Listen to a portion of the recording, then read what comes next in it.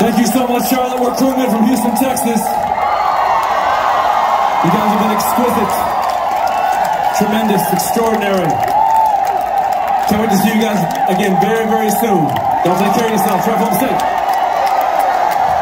home safe.